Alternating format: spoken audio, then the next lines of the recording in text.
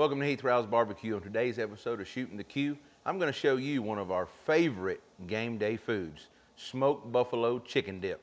Let's get started.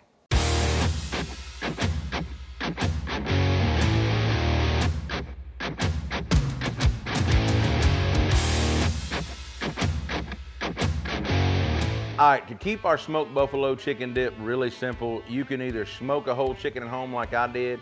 I kept it simple and just used a little bit of my chicken rub and a little bit of garlic jalapeno because those are the same two rubs that I'm gonna incorporate into my dish here. I didn't measure it out. I just know I'm probably guessing I got two and a half cups of meat if I had to take an educated guess. If you wanna keep it really simple, go buy a rotisserie chicken and shred it. It's kinda up to you how easy, how simple you want it to be. I'm kicking this dish up a notch. I made some homemade ranch. I'm sure everybody knows how to make a homemade ranch from the pack. And then I'm using truff hot sauce. It's infused with black truffles. It's really good. I like it here at home, so I'm gonna use it in my dish. The first thing I wanna do is get my cream cheese out. Now I've had this laid out for about an hour to kind of soften up at room temperature. It makes it a little easier to work with. I'm gonna add, about like I said, two and a half cups of chicken. And I'm gonna put this recipe down below in the description as well. About a cup of ranch dressing you can use out of a bottle or make homemade if you want, up to you. Three quarters a cup of truff hot sauce. This is one of the most simple dishes you can make on the grill. And then I'm gonna use about half my cheese, which is about a cup. I've got two cups in this bowl.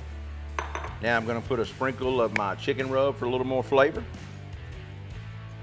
Say about a tablespoon or so. I'm gonna do the same thing on this garlic jalapeno once I open it. I'm gonna get this mixed up and get it into a cast iron dish. I'll be right back.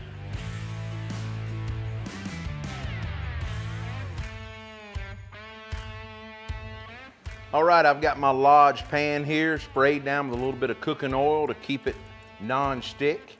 I've got my buffalo chicken dip mixed up. You can see the consistency here. Now, if you want to cut your hot sauce back to a half a cup, if you like it a little less spicy, change it out to whatever you like.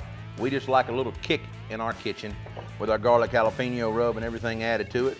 Now I'm gonna get this in my cast iron dish and kind of spread it around, sprinkle it with some more cheese. Now you can put this in a bigger dish or a smaller dish, just kind of depends on what you want to do. I'm gonna keep it kind of thin because we're gonna serve it with some chips. Now I'm gonna take the remainder of this cheese here, kind of layer it around. Now, only thing I'm gonna do is take a little bit more of my chicken rub and come back over the top. All right, now that we've got our cheese on top of it and got it poured in our cast iron skillet, I'm gonna get it on the smoker.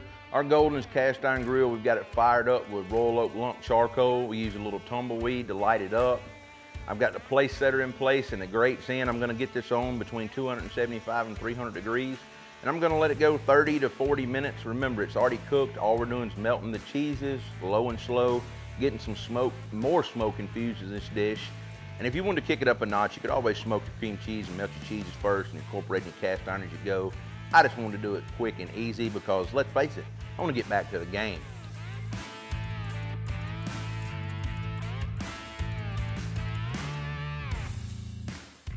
All right, let's get our buffalo chicken dip off the grill and let it cool down before we can eat it. Now, I'm just gonna set it over here on the counter and let it cool down for about 20 minutes. It's been on about 25 minutes. I think it's melted perfect.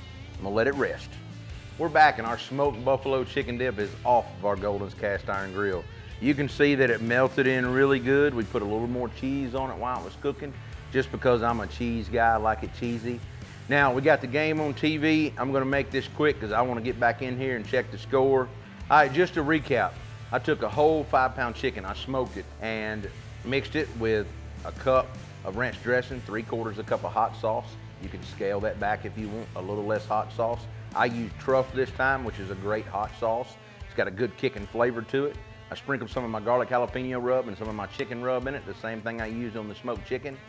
You know, a block of cream cheese, mix it all up well, add a little more cheese to it, a little more on top, and there's not but one thing left to do, and that's get in here and try this. I know it's gonna be hot, so I can't wait no longer though. Let me find me a good dipping chip. I like pita chips with these things. Man, look at that good cheesy goodness right there.